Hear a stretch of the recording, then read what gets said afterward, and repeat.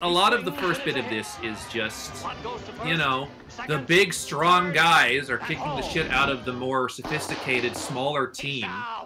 And there's a lot of gags here that are a little reminiscent of baseball bugs. But like you have almost actual like exact shots. Like the the Schnucks batter happily rounding the bases, which is often similar to a shot of bugs rounding the bases in baseball bugs. And you have some legs of gags, like the, the, the bigger guys scuffling with the umpires.